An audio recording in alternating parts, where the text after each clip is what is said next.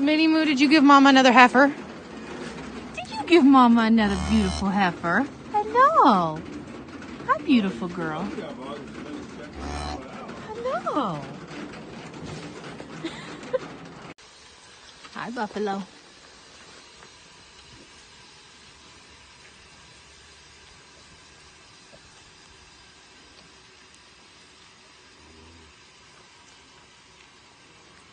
Aren't you gonna just lick my hand and then look at me? What do you think?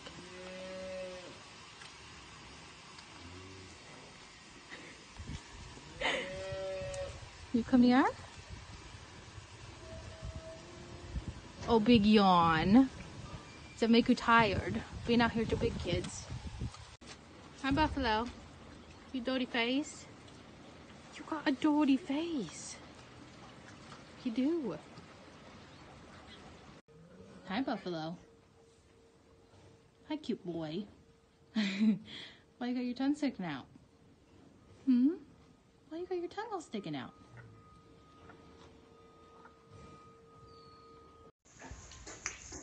couple of midnight snacks going on in here. It's actually what is it, quarter to one. I woke up. Yeah, I get up, I check the cameras, and I look at the thermometer, the weather station. Yesterday, these girls had that trough right there by the head gate kicked out because hadn't been hooked up for water. We'd just been filling it if we needed it. It's like, well, I don't want to take it out of there and lose the little nesting spot it's got. It's not supposed to get below 35, 38 degrees for the next week. Yeah, we're 32 now. That means we're going to be about 28 or maybe 27 by morning. That happens to be on the only PVC line in here. See it on the edge of the pole. Yeah, there you can see it. There's actually two on the edge of that pole because we meet it at that point and jump up and go down to where that calf is if we need one there.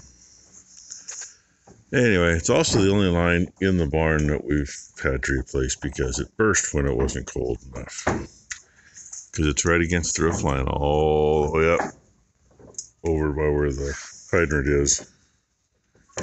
Yeah, you can kind of see the trough there. Hydrant's at the post under there. So yeah, I just got that drained before we have an issue with that.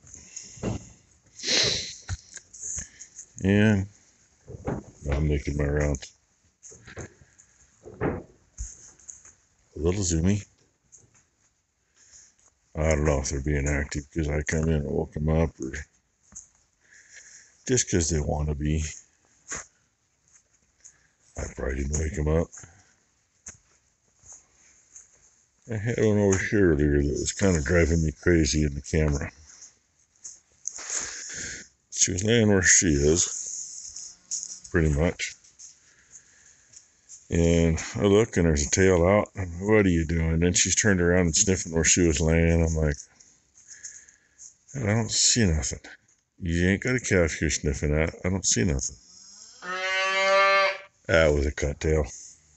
I could see that, so I didn't worry too much about it. Since then, Tylen has come down before she went to bed and checked. I didn't hear anything, so we're going to say there's nothing. And I don't see anything, so we're going to say there's nothing. So I'm going to see if I can get back to bed before that magical hour jump ahead. Don't ask me about that bullshit. I'll tell you anyway. Probably been 30 years ago, I had some lady in a grocery store bad mouthing farmers because she hated the time change. She informed me that it was all because of those GDF and farmers so that they could get their crops done.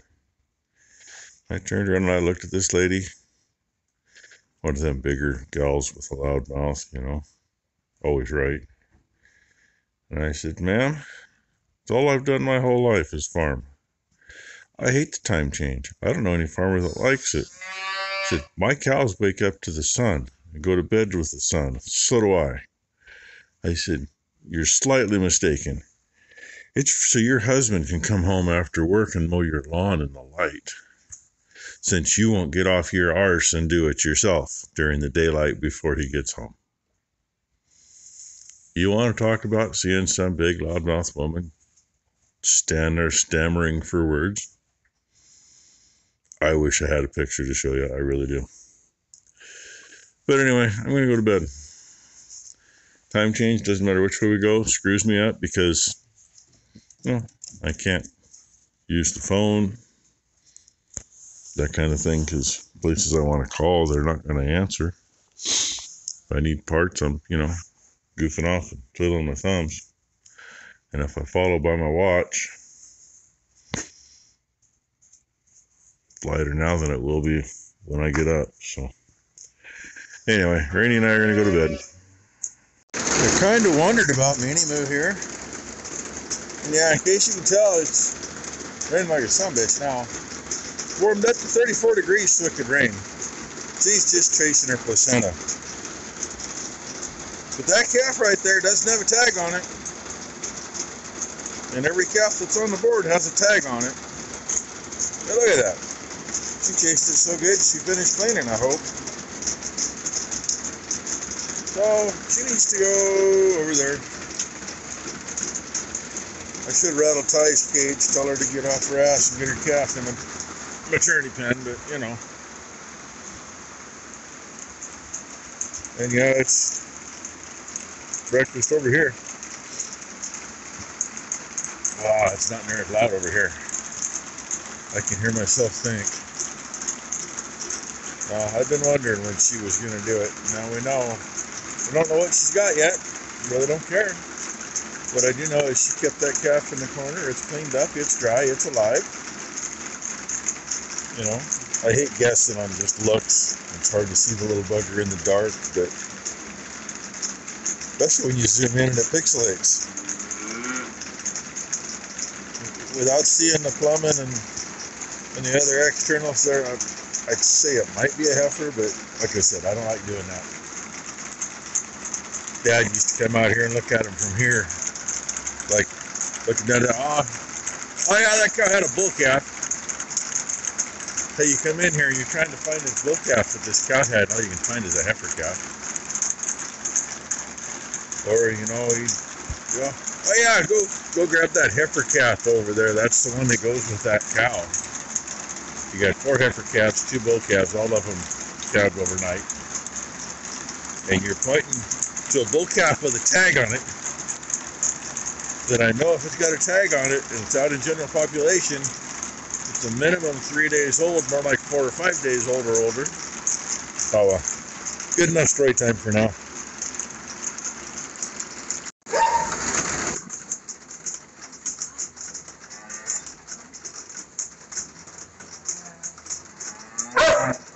You go see what she had so the whole world will know.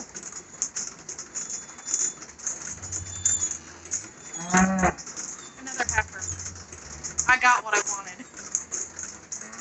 I told you it looked like a heifer calf. But like I said, don't always quote me on that. Yeah, finally get her in here. Look at the fun. There, you see the end of the hose, see the end of where it was. Kind of a long-winded nipple. And yep, yep, yep. That's our ash can. I need to go scavenge some ashes out of Grandma's stove. There's another bucket Ah, it's on the back of the truck. That's supposed to be the regular grease sweep. It's empty. So I had to go to the ashes, which is what we used to use anyway, and I'm not so sure my clamp sealed. I have not taken the lid off to look. I'm not going to. But the fun part is you can't get a wrench in there. And I don't have crow's feet that big. So Becky is currently ordering a set off of Scamazon. 8 inch and an eighth for the square part. And the nut is inch and 5 sixteenths. I got inch and a quarter. I got inch and a half. Do you think I got inch and 5 sixteenths? Hell no. So, it's supposed to be, said it'd be here tomorrow. Off brand, but it's got good reviews. Looked at the brand that I wouldn't mind having, but the price she came up with was, of course, you know, you you get the different little boxes underneath for the different sizes. Well, the price was for this one, and we needed this one. Yeah, instead of being fifty-three dollars, down to two hundred bucks. And this other brand is like fifty-seven dollars. And it might cost us a couple bucks in shipping to get it here tomorrow, but that's okay. Because I want this thing out of here. And yeah, maybe they'll give me a chance to actually find a whole new hose instead of splicing that one. I did do a little adjusting because that hose is one that wore through it, and that's you know, comes from up there. It's an oil drain hose, is what it is. Drains back into the block behind the dipstick, and I give her a little rotate up so it won't lay against there anymore. But that's all I can do with this thing for now. So Becky is using it to dry the rugs out of the house. And Tylen's talking about laying some plastic on here and doing some work on some stuff she was going to work on. So gives her a nice work area. A little rough, but nice. Dug out that little feeder yesterday and got her hooked up. Throw some diatomaceous earth in here for these little buggers. Hopefully they figure it out and they don't spill it. You're gonna do what? Oh, she's gonna sneak buffalo in here, she says. I'm gonna sneak out anyway.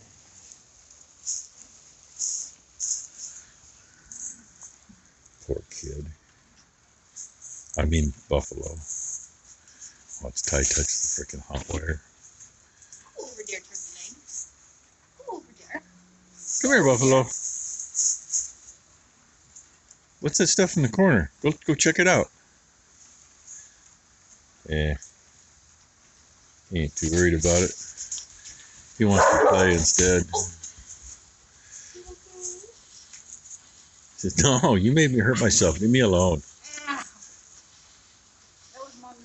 And then her knee popped. That's why she's rubbing it. What do you think, Buffalo? You think, baby What boy? She needs to do is sneak back out of there and the calves spend enough time in here, they'll find it. As long as they don't flip it over, because where you're supposed to put a chain on the bottom so it doesn't get flipped over, well, that's been torn out for a long time. We got another one too, but it's in about the same uh, same awesome condition. So, if you know, you know. Two pair are done. There's what Ty was working on. Kind of thinking she might be washing a truck bed. It's not supposed to be white. Those are apparently for Brooke's baby shower. But these are for me. And for the life of me, I don't know. I mean, I've worn Carhartts for quite a few years. Becky's best friend's youngest boy was lost a bunch of weight and he didn't fit him anymore, so I ended up with his old ones and I got to where I like them with the double leg. These are a little different material. These are a stretchier one for I guess those old parts. But for the life of me, I don't know why the hell Carhartt does not put suspender buttons on any of their pants. None that we could find. But they happen to sell the buttons that I like. I mean, I ain't fond of the plastic to them, but these have held up better than was it Sawbuck is the other big brand, and the Sawbucks I usually break the damn pins off. When Brother Ed was here, I made a tool for installing the pins.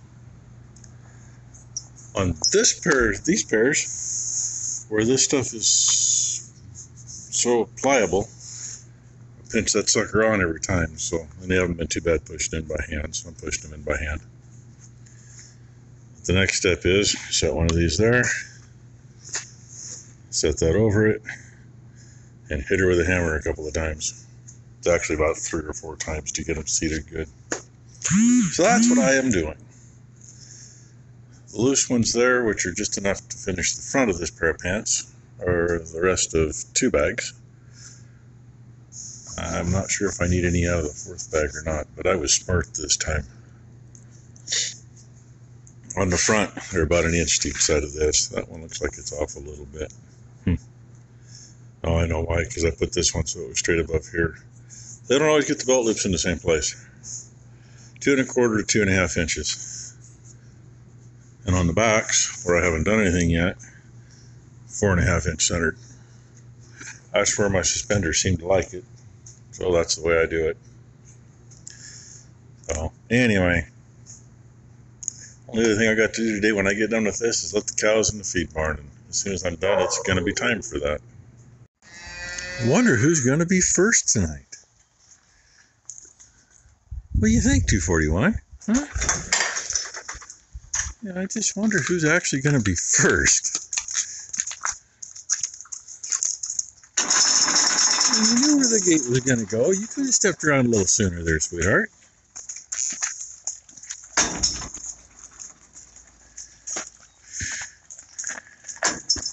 Figured I better let him in while it wasn't dumping. It's been dumping for the last hour or two.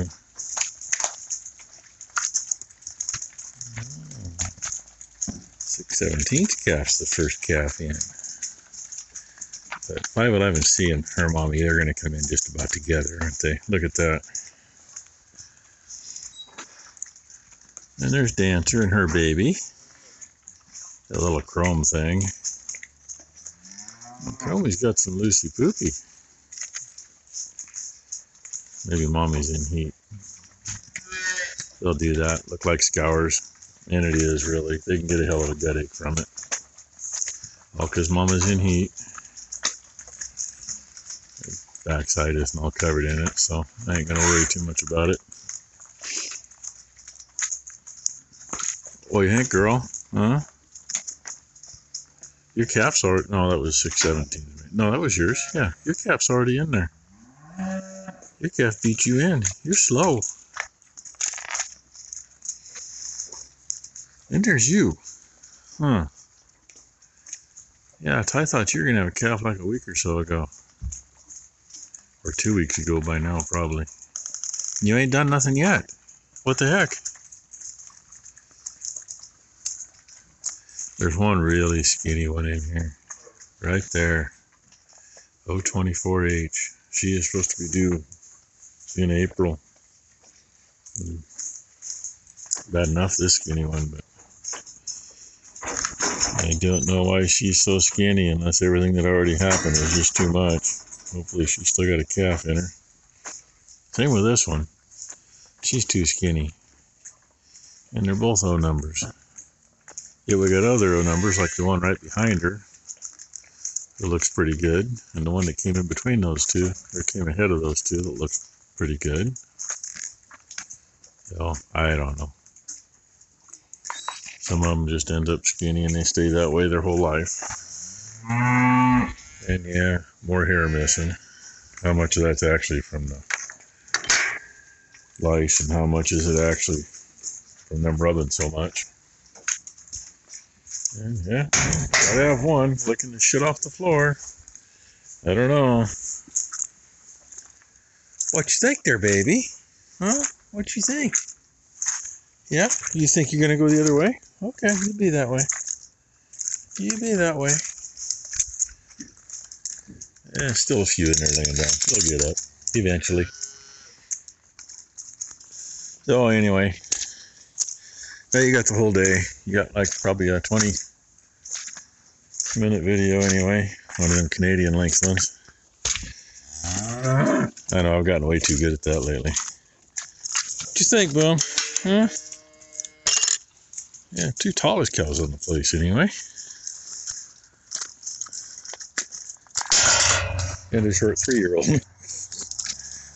yeah, she'll be three next month. March baby. Then, of course, there's a two year old who uh, I'd love to get back into the swing of things like we used to be. We always calve the two year olds out first.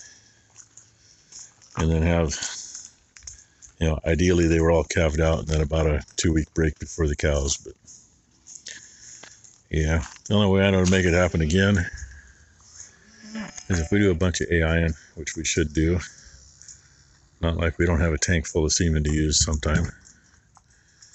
At least we know it's still all viable because it's been taken care of rather than when we lost like sixty, eighty thousand dollars worth of semen because the guy that was servicing the tank uh, didn't. He didn't service our vet's embryo tanks either. Any better than he did ours. It cost him about a half a million dollars. So, another story. Anyway, thanks for watching, everybody. Hope you had a great Sunday. Everybody has a good week.